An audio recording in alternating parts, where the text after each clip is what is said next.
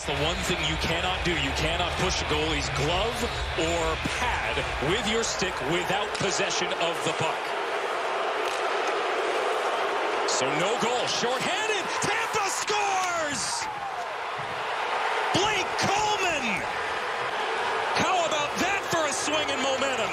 Florida had thought they had taken the lead, lightning the first goal of this series. What a response by Tampa Bay. Indirect play off the wall, stretches things out.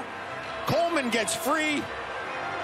And the backhand goes through the arm of Sergei Bobrovsky. And you talk about being stunned. The Florida Panthers...